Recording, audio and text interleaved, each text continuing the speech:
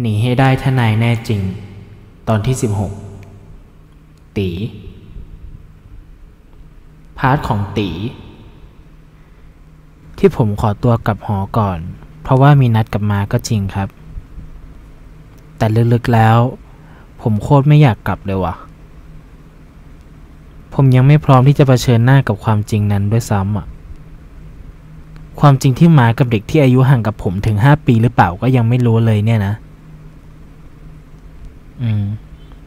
ความจริงนั่นแหละเฮ้ผมไม่รู้จะต้องทำหน้ายังไงดี ถ้าม้าพามันมา หรือพูดเรื่องมันขึ้นมา ผมไม่รู้ว่าจะต้องทำตัวยังไง ม้าจะบอกกับผมเมื่อไหร่ นี่ก็สับสนไปหมด ผมต้องยิ้มให้กับมันไหมวะ จะต้องพูดยังไงดีล่ะ ต้องพูดว่า อ๋อ สวัสดีครับพี่ ผมเป็นลูกของแฟนพี่นะ งี้เหรอ เฮ้ย มันตลกนะ ถ้าผมพูดอย่างนี้เขาจะโอเคไหมวะ มันยังไม่พร้อมจริง ๆอะ่ะ จะว่ายังรับไม่ได้ก็คงไม่เชิง ก็เข้าใจแหละนะ ว่ามันเป็นสิทธิ์ของม้า แต่ว่ากับเด็กรุ่นลูกเนี่ยนะ เออจะต้องให้ผมเรียกพ่อเลยไหมวะ หรือยังไงดี ไม่รู้สิ ตั้งแต่ที่พ่อเสียไป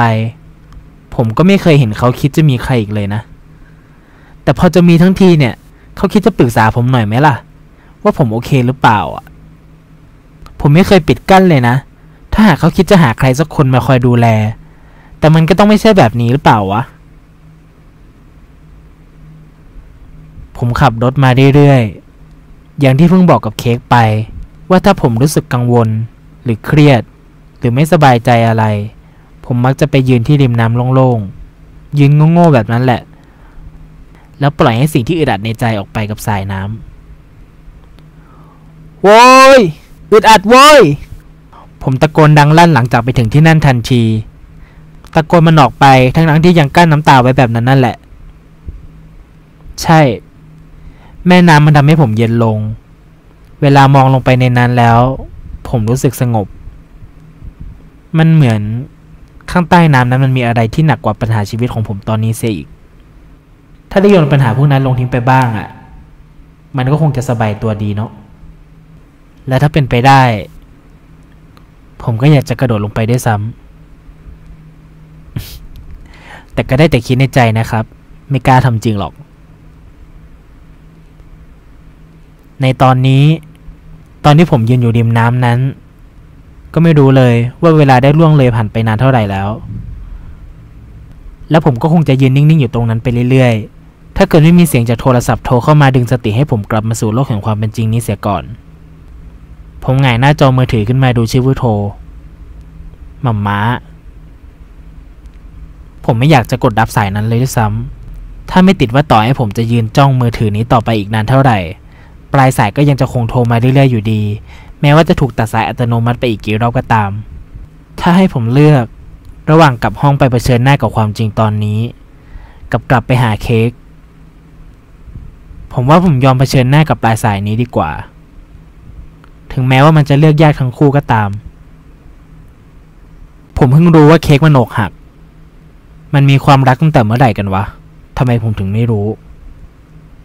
แล้วที่แย่ไปกว่านั้นก็คือ เอิญมันก็รู้ด้วยนี่สิ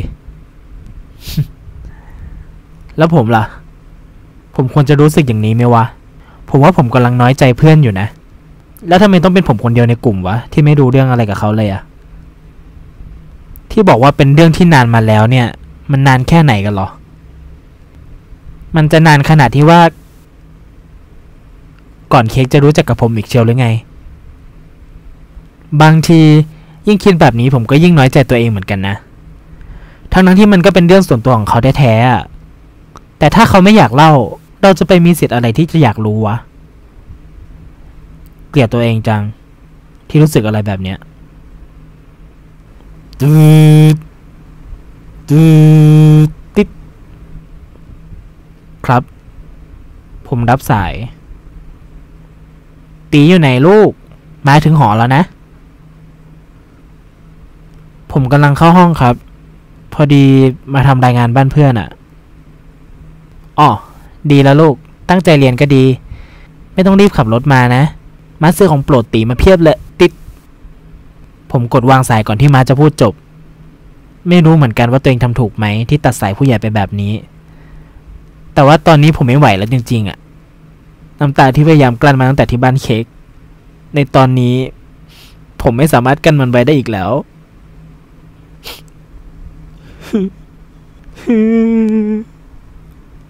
ไม่เข้าใจจริง ๆ ว่าตัวเองเป็นอะไรไป และต้องทำตัวยังไงต่อไปดี ในเมื่อในหัวมันสับสนไปหมดขนาดนี้ ใครก็ได้ บอกผมทีเถอะ ว่าผมจะต้องเอาไงต่อกับชีวิตอะผมจะบ้าตายอยู่แล้ว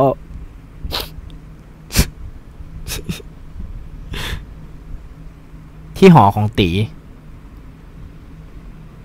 ผมเดินมาถึงหน้าห้อง ก็พบกับแสงไฟที่ส่องสว่างลอดผ่านหน้าต่างและม่านในห้องออกมา เขามีกุญแจสำรองครับ ม้าคงมาถึงนานแล้วแหละ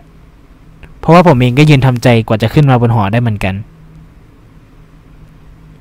อันที่จริงผมเองก็ไม่ได้ขับรถช้าๆตามที่ม้าบอกด้วยซ้ำผมอาจจะขับเร็วถึงเร็วมากที่สุดในชีวิตแล้วก็ได้มั้ง ในตอนนั้นผมคิดได้เพียงอย่างเดียว ว่าอยากจะรีบให้ความรู้สึกอึดอัดพวกเนี้ยมันจบๆไปสักที แต่ตัดภาพมาที่ตอนนี้สิ ผมยืนจ้องประตูห้องตัวเองมานานกี่นาทีแล้วก็ไม่รู้ ผมพยายามเป็นอย่างมากที่จะเอื้อมมือไปบิดกรอนประตูเพื่อเปิดเข้าไปข้างใน แต่มือมันดันไม่ยอมบิดได้สักทีนี่สิทำไมผมมันขี้ขาดแบบนี้วะแกลกเอ้าตี มาถึงแต่เมื่อไหร่ลูก เข้ามาเข้ามาเข้ามาม้าเปิดประตูออกมาพอดี เพื่อที่จะขยะไปทิ้ง แต่สุดท้ายก็ไม่ได้ทิ้งมันลงไป ม้าดันตัวผมให้นั่งลงกับโต๊ะทานข้าว นั่งกินข้าวไปก่อนนะลูก ม้าไปทิ้งขยะก่อน แป๊บหนึ่งพูดจบ ม้าก็ถือถุงขยะออกไปทันที ในตอนแรกผมกะจะเอาไปทิ้งเองอะแต่ก็ห้ามไว้ไม่ทัน ทั้งห้องเหลือเพียงความเงียบ ผมถอนหายใจออกมาเฮือกใหญ่ หลังจากมองไปที่รอบๆห้องแล้ว ไม่มีใครคนอื่น ผมคงคิดมากเกินไปแหละแต่คิดว่าหมาจะพาใครมาเปิดตัววันนี้เสียอีก เออ ก็คิดว่ามันคงจะเร็วไปหน่อยแหละ ถ้าจู่ๆจะมาเปิดตัวกันปุบปับแบบนี้นะ อย่างน้อยก็น่าจะให้เวลาผมได้คุย ได้ตั้งตัวกันก่อนไหมวะ แกลก สียงเปิดประตูรอบที่สองมาไม่กินข้าวด้วยกันก่อนเหรอ ผมหันหลังไปมองที่ประตูอีกรอบ เค้กมาละ ไอคนนั้นมันเข้ามาในห้องผม อ้าว พี่พี่ต้อมไปไหนล่ะครับ ไอพี่คนนั้นมันยืนทำหน้าเออเอออยู่หน้าประตูห้องผมพร้อมกับถุงเค้ก ที่โต๊ะทานข้าว เออตีนี่พี่เก้านะ เขาเป็นแฟนมา เขาเป็นแฟนมา จึก ดอกที่หนึ่งเสียบมาที่กลางอก ผมไม่คิดเลยว่ามันจะเร็วขนาดเนี้ย ทุกคำเหมือนผมโดนปืนยิงปังปังปังเข้ามาที่หัวใจอะทุกอย่างมันเกิดขึ้นเร็วมาก จนผมตั้งตัวไม่ทันด้วยซ้ำส่วนเก้า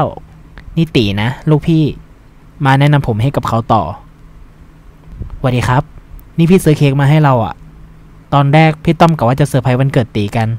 แต่คงผิดแผนไปหน่อยอะ ยังไงก็สุขสันต์วันเกิดนะครับ พี่มันยื่นถุงเค้กมาให้ผมเซอร์ไพรส์ไหมละมึง จุกไปอีกหนึ่งดอกครับเซอร์ไพรส์มากๆ เนี่ยเหรอวะ คนแรกที่จำได้ว่าเป็นวันเกิดกูอะขนาดเพื่อนๆผมยังไม่รู้กันเลย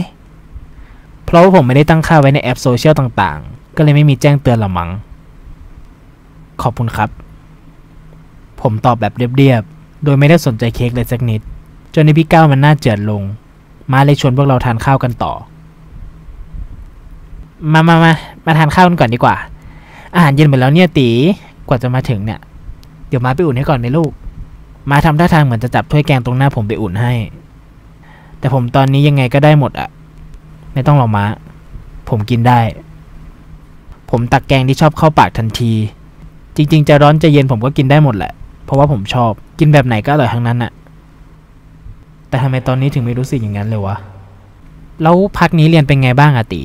เห็นว่าจะสอบแล้วนี่ มีบทเรียนอะไรไม่เข้าใจบ้างไหม ม้าถามขึ้นเพื่อทำลายความเงียบ ก็เรื่อยๆอะครับ มาไม่ต้องห่วงหรอก ผมตอบไปกินไปไม่ได้มองหน้าใคร ถ้าไม่เข้าใจตรงไหนอะถามพี่ได้นะ ให้พี่ติวให้ก็ได้ ไอพี่มันพูดสวนขึ้นมาทันที เออ ใช่ ให้พี่เขาติวให้ก็ได้นะตี พี่ก้าวอะเขารับติวเด็กอยู่แล้ว เดี๋ยวมาให้พี่เขาติวให้ฟรีเลย ใช่ไหมก้าวม้าแลดูจะยกยอไอพี่มันใหญ่ แหมพี่ต้อม ยังไงก็ได้ครับ ถ้าเป็นน้องอะ พี่ติวให้ฟรีไม่คิดเงินก็ได้ จากนั้นสองคนก็หัวเราะคีคักกันไป ใครมันจะไปอยากเรียนด้วยวะ ช่วยเช็คสถานการณ์หน่อยครับ พี่ ผมรีบตักข้าวเข้าปากไปเรื่อยๆ โดยที่ไม่ได้สนใจคนอื่นเท่าไหร่นัก ใครถามอะไรก็ตอบเป็นคำๆไป ต่างคนต่างกิน ไม่เชื่อผมเรียกร้องความสนใจหรอกนะ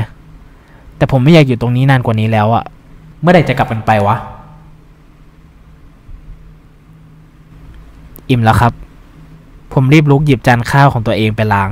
กะว่าถ้ากินเสร็จแล้วพวกมายังไม่พากันกลับ ผมก็ว่าจะขอตัวอไปข้างนอกเลย ไปไหนก็ไม่รู้แหละ แต่ผมไม่อยากอยู่ห้องนี้ต่อไปแล้วอะมันอึดอัดไปหมด หอผมเป็นห้องเดี่ยว ไม่มีผนังกั้น ผมไม่อยากเป็นคนอ่อนแอในสายตาใคร และไม่อยากให้ใครมาเห็นตอนที่ผมกำลังอ่อนแอด้วย ผมอยากจะออกไปจากตรงนี้ให้เร็วที่สุด มา เดี๋ยวพี่ลังช่วย ไอพี่ก้าวมาเดินยกถ้วยจานมาข้างๆผม ไม่เป็นไรครับ เดี๋ยวไปนั่งรอกับม้าเถอะ ผมไม่ได้มองหน้ามันด้วยซ้ำไม่อยากคุยว่ะ นี่ผมไม่เคยรู้สึกเหม็นหน้าใครเท่านี้มาก่อนเลยนะเนี่ย เฮ้ยได้ไงล่ะ น้องเป็นเจ้าของวันเกิดนะเว้ยนู่นไปนั่งรอเถอะ เดี๋ยวตรงนี้พี่จัดการเอง ผมไงหน้ามอง มันยิ้มด้วยสายตาอย่างไม่รู้ว่าผมไม่อยากจะเสวนาคุยกับมันด้วยซ้ำนี่มันไม่รู้จริงๆหรือแกล้งโง่กันวะฮะจะต้องให้ผมพูดออกไปเลยไหม ว่าตอนเนี้ย ไม่อยากคุยกับใครทั้งนั้น เพราะฉะนั้นเรียกๆออกไปจากห้องกูสักทีเถอะเงี้ยเหรอ ไปเธอพี่ทำคนเดียวได้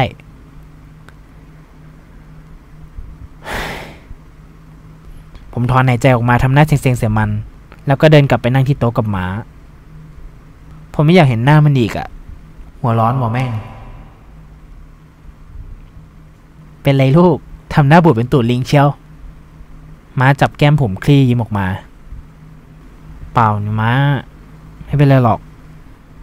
ผมตอบด้วยสีหน้าเรียบเชียบ มีเพียงความเงียบแล้วความมืดอัดเกิดขึ้นที่โต๊ะทานข้าวแคบๆ ผมไม่มีอะไรจะพูด และมาก็ไม่ได้พูดอะไรออกมา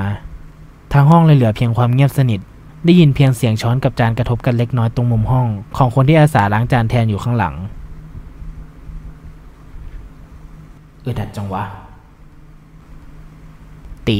ออกไปเดินเล่นเป็นเพื่อนม้าหน่อยสิ มาเริ่มบทสนทนาแรก หลังจากที่ปล่อยห้องเงียบไปหลายนาที